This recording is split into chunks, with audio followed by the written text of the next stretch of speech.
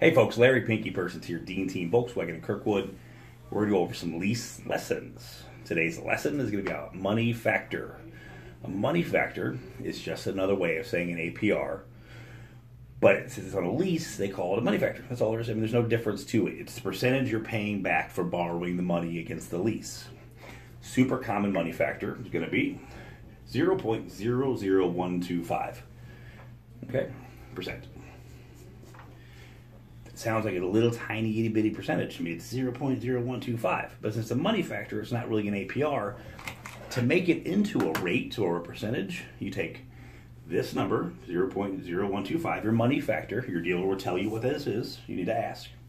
You take that times 2400 and this math here comes out to 3%.